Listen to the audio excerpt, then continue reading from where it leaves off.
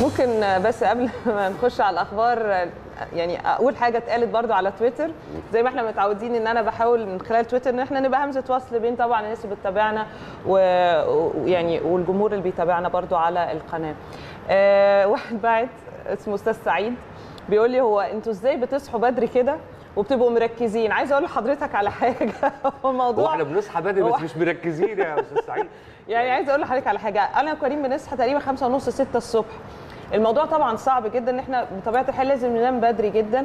بس طبعا إن إحنا بشر في أيام بنبقى طالعين على الهوا لازم غصب عننا لازم نكون مركزين وده طبيعي ده شغلنا. بس طبعا إحنا لأننا بشر بنبقى ممكن أوقات في أيام التركيز فيه قليل شوية لكن ممكن ما يكونش بيبان لحضراتكم بس إحنا بنسعى إن ده ما يبانش.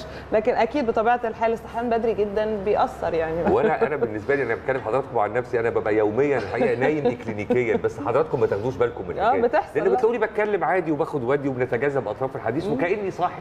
بس أنا الحقيقة مش نايم جسد بلا روح. طيب نروح نتابع